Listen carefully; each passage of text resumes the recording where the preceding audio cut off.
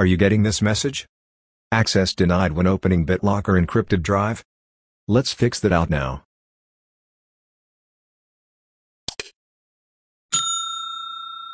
First, go to Start menu in bottom left corner, and type Edit Group Policy. Open it. A new interface will open.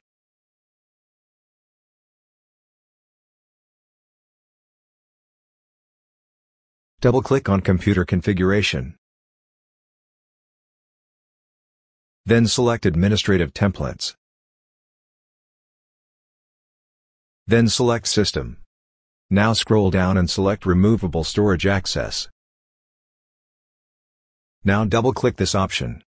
All removable storage allow direct access in remote sessions. A new interface will open up.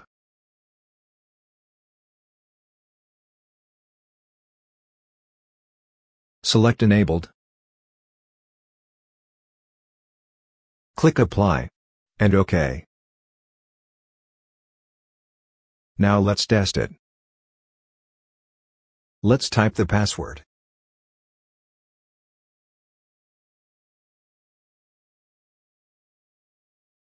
As you can see, it's unlocked now.